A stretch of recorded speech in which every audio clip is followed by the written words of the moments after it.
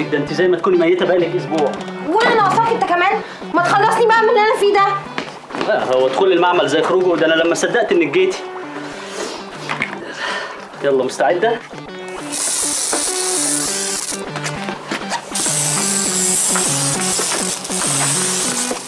معلش معلش.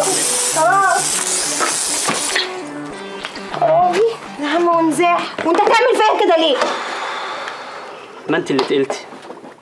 معلش يا نتاشا ما لقيتش حل إلا كده. تعالي تعالي اقعدي اتفضلي فكي الطرحة كده وخدي راحتك المعمل بتاعك. لا فك طرحة إيه؟ لا طبعا يا أخويا. ما أنت بتقفي في الحاره بشعرك أيوه الحاره دول أهلي وناسي. لكن أنا هنا بره الحارة لازم أتستر. أنت غريبة جدا يا نتاشا إشمعنى يعني؟ أصل أنت بتقلعي في الحارة وتيجي هنا تستري نفسك. هم العكس هم بيستروا نفسهم في بيوتهم ويجوا هنا المعمل يقلعوا. أنت على كده بقى تعرف بنات كتير قوي لا أنا عمري ما عرفت بنات. هي واحدة بس أمي خطبتها لي كده صالونات. بس. خدت غرضي منها ورميتها.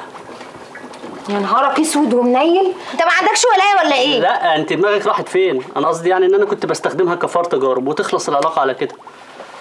آه يعني هو أنت دلوقتي مفيش حد في حياتك؟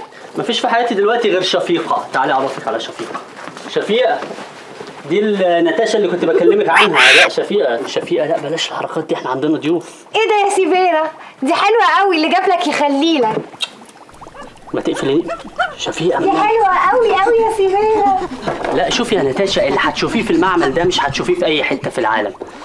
إيه العسل ده عسولة. عسولة. بصي المراية دي. إيه يعني؟ مراية زي اياتها مراية يعني. لا دي مش مراية عادية. قلبي كده في الزراير. إيه ده؟ دي حلوة قوي يا سيفيرا دي شبه الخلق الناطق. قلبي قلبي.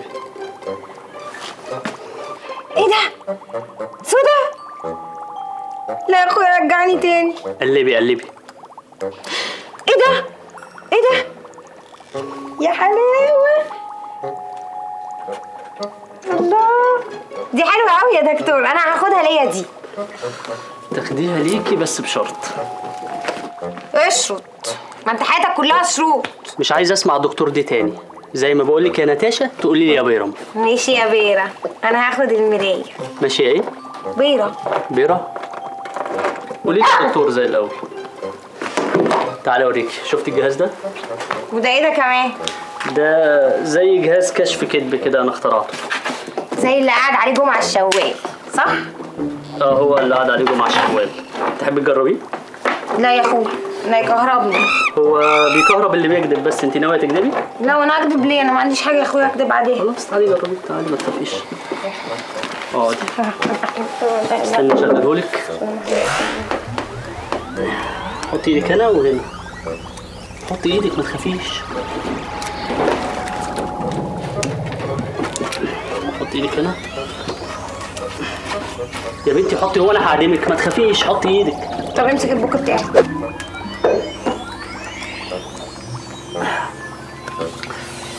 ها جاهزة؟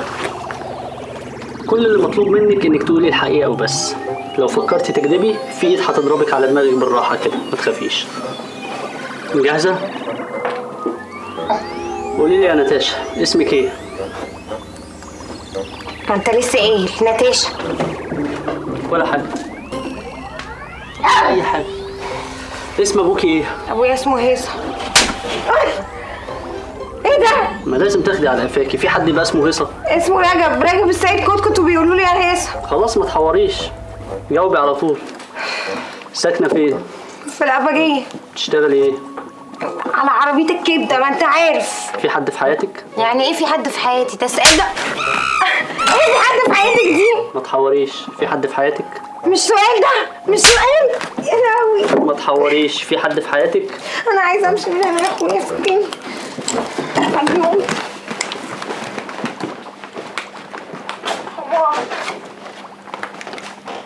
على فكرة البنت فاتن طايرة بالباشمهندس ابنودي آه ما أنا قلت له يخرجها النهارده يفسحها ويشتري لها هدية كده عشان تشبط فيها أكتر. بس برضك يعني يا دكتور مش أصول يعني إن هم يفضلوا رايحين جايين مع بعض كده وهو لسه ما شبكهاش. انت خايف عليها منه ولا خايف عليه منها؟ لا مش القصد بس العادات والأقاليم عندنا بتقول يعني إنه لازم على الأقل يكون شابكها أو كاتب عليها. ده أنا حتى يعني لا مؤاخذه لولاش يعني بعتبرك أخويا وصاحبي يعني؟ ما كنتش بعت لك البت نتاشا لوحدها امبارح. واضح إن أنت بتعز نتاشا شكلك بتغير عليها جامد. طبعا. دي أختي. ده أنا وهي وفاتن متربيين في فرشة واحدة. أختك؟ اي اثبت بقى عشان أظبط عليك الكتر ماشي بس أنا كنت بقول أروح أنا لصريح على طول بدل الهم اللي أنت فيه ده. لا الهم اللي أنا فيه ده أحسن. عشان اضمن انك هتقول اللي أنا عايزه. ما تفتيش من دماغك. الله يحرق ام المنطرون اللي دخل الشيطان بينا. مفيش ثقة خالص. عصفور أنا قلتها لك مليون مرة قبل كده وهقولها لك تاني. انت إيه يا عصفور؟ أنا سوبر يعني إيه؟ يعني قوي. قوي إيه؟ قوي جدا. بس إيه؟ بس غبي. غبي إيه؟ غبي جدا. يعني انت من غير إيه؟ آه، من غيرك اتسوح فلازم تعيش لك إيه؟ كعبد. عبد لونه إيه؟ لونه اسود. يا إما هيحصل لك إيه؟ هتديني بالجزمه على إيه؟ على دماغي. برافو عليك يا عصفور. طبق بقى اللي أنت حافظه. وصلت الدماغ يا دكتور. يلا. 3 2 1 صور البس ده الأول ما تستعبطش. يا دي المسك. صور يا عم. موضوعنا باختصار عن شاب مصري. يشرفني إنه يكون من نفس القرية اللي أنا اتولدت فيها. والحقيقة زي ما هو كان محظوظ بيا. أنا برضو كنت محظوظ بيه. أيوه هو كان محظوظ بيا. لأن الرجل العنابي اتربى على إيديا وكبر قصاد عينيا. وأول مرة يطير فيها كنت أنا اللي شايله واتبنيته ودعمته لحد ما بقى سوبر هيرو صيته مسمع في الدنيا كلها. وزي مصاريح الفيل كان ليه السبق في توقيع العنابي لحزب الصراحة راحة. هيكون صريح الفيل برضو ليه السبق في ظهور العنابي مباشر وحصري هنا في البرنامج بتاعنا.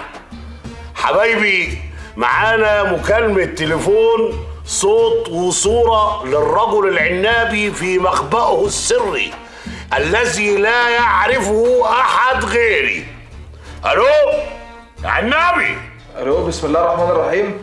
آه، ازي حضرتك يا باشمهندس صريح؟ أنا سعيد جدا إن أنا مع سعادتك آه، هواء آه، أنا كان نفسي أطلع مع سعادتك من زمان بس الظروف ما سمحتش. أنت جميل يا عنابي. أنت قمر ومنور كل حاجة حلوة وإحنا كلنا بنحبك. ربنا يخليك يا باشمهندس صريح. إحنا يعني خدامين الجزم. العفو العفو. ده انت ابني يا عنابي. أنا عايزك تقول لي بقى وبمنتهى الصراحة كأنك ما بتكلمش صريح الفيل. بمنتهى الصراحة يا عنابي. إيه اللي خلاك تفضل حزب الصراحة راحه عن اي حزب تاني؟ آه، حقيقة لأن هو أقرب حزب من بيتي فبركب لحد رمسيس وبتمشى الحتة اللي فاضلة دي. عسل يا عنابي عسل. طول عمرك ابن نكتة يعني. لا من صغرك انت تحب تضحك لا بتضحك بجد يعني. لا بجد بقى يا عنب. قول لي قول لي بجد ها؟ إيه اللي خلاك توقع لحزب الصراحة راحة؟ أنا مضيت مع حزب الصراحة راحة؟